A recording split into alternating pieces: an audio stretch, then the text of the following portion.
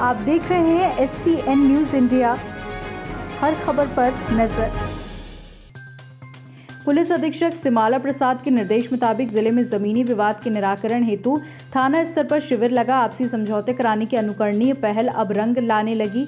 वर्षों से जमीनी विवादों में मुँह फेर रंजिश रखने वाले परिवारों के मतभेद शिविर में आने के बाद पुलिस की मध्यता से सुलझ रहे। इसी तारतम्य में थाना झल्लार में भी जमीनी विवाद संबंधी शिकायत निराकरण शिविर आयोजित किया गया, जिसमें अनुविभागीय अधिकारी, पुलिस नायब तहसीलदार आरआई, थाना प्रभारी पटवारी मंजुला धुर्वे और राजस्व टीम के द्वारा आज दिनांक तक प्राप्त 16 आवेदन पत्रों में से चौदह आवेदन पत्र का निराकरण किया, जिसमें रास्ता रोकने, मेड़ तोड़ने, अवैध कब्जा कर लेने और अधिक ज़मीन बुवाई के संबंधित शिकायतें प्राप्त हुई थे, जो आपसी समझौते और समझाइश देकर निराकृत किए गए। इस शिविर अभियान की शिकायतकर्ताओं और आमजनों ने काफ़ी सराहना की है।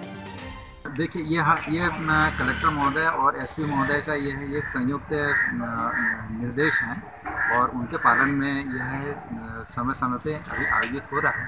ये क्योंकि पहली बार है जिलार में जी। तो आने वाले समय में और निर्देश मिलते हैं तो ये आगे भी ये, आगे भी ऐसी मतलब लग सकती है। हाँ आगे भी आज थाना जल्लार में सोलह आवेदन प्राप्त हुए थे। हम हम ये नहीं कह रहे कि इस सप्ताह सोलह आवेदन प्राप्त हुए थे जिसमें से चौदह आवेदनों का निकाला जो है इनका निराकरण हो गया है और दो आवेदन पेंडिंग है जिसमें दोनों पक्षों को बुलाकर उनका निराकरण हो जाएगा।